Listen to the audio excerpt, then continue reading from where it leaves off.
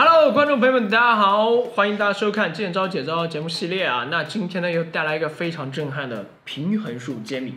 那我们首先看一下这位魔术师的表演啊。桌面上有两张扑克牌，我们注意仔细看，扑克牌放在这边。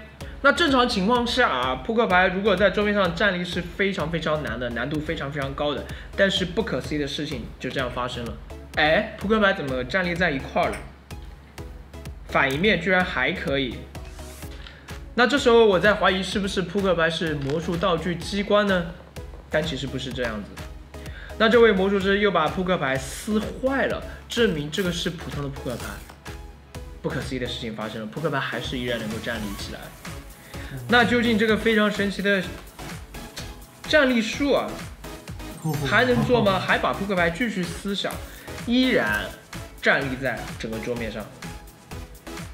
那这个魔术看到这边呢，是不是大家心中都有一个怀疑啊？那这个魔术究竟是怎么做到的呢？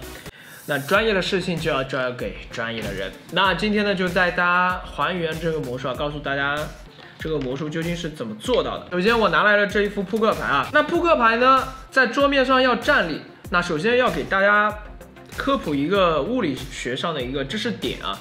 也就是说，在平面上要让一个物体呢这样站立起来，至少需要四个点，这个叫做四点平衡。那扑克牌呢，其实可以想象这两边是一个点，那这样的话是无法站立起来的。那如果你把这个边缘想象成它是无数个点的话，其实扑克牌在一个绝对的平衡状态下，它是可以在这个桌面上平衡的。但是呢，空气上会有一些，比如啊，你在说话，有一些小分子在运动，那这个扑克牌很难去站立。那魔术师究竟是怎么做到让这个扑克牌在桌面上站立的呢？那这个就要说到扑克牌里面的一个道具机关。那首先，扑克牌这样竖直站立需要四个点，那这个四个点呢，需要通过魔术当中的引线来完成。那我给大家解释一下什么叫引线。大家可以看到我手里有根非常非常细小的这个线。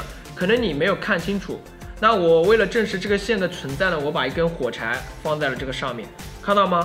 火柴悬浮在一块，那这根线呢是极为非常细的，而且是黑色的，在黑色的桌面背景下呢，你基本上看不清它的存在。那把这个魔术的原理讲清楚，我拿出了这一个线，啊，那这是一个简单易懂，大家都能够看清楚的这一个白色的线。那首先呢，我们需要把这个线的一头。固定在底下，或者两头都固定都可以。我们可以随便找一个桌子底下一个地方，我把这个线绑起来。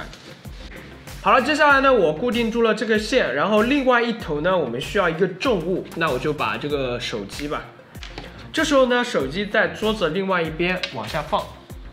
OK，那这时候呢，大家在桌面上有没有看到，这边就有一根弹力的线了，看到吧？这是一根弹力的线。那这根弹力的线其实用黑色非常非常细，配合黑色桌面你是完全看不清楚的。那魔术师表演的时候，我们注意仔细看啊，这个动作他在挑的时候呢，其实在挑这一根线。那这时候呢，桌面的对面是一个点，这边是一个点，这两个点，也就是说至少有四个点，这样呢就可以把这个扑克牌进行平衡，看到吗？平衡没有问题啊，用力一吹还是能吹下来的。